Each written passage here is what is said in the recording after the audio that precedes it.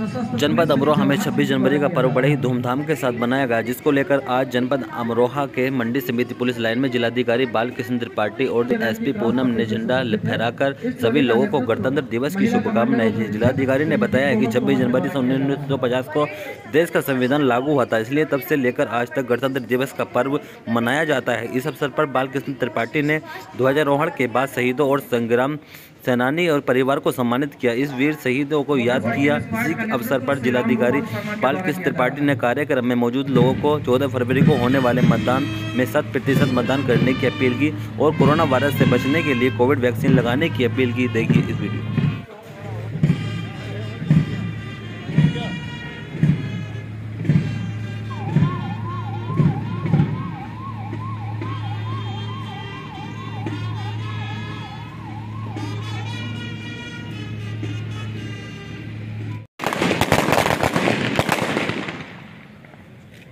अभिमान।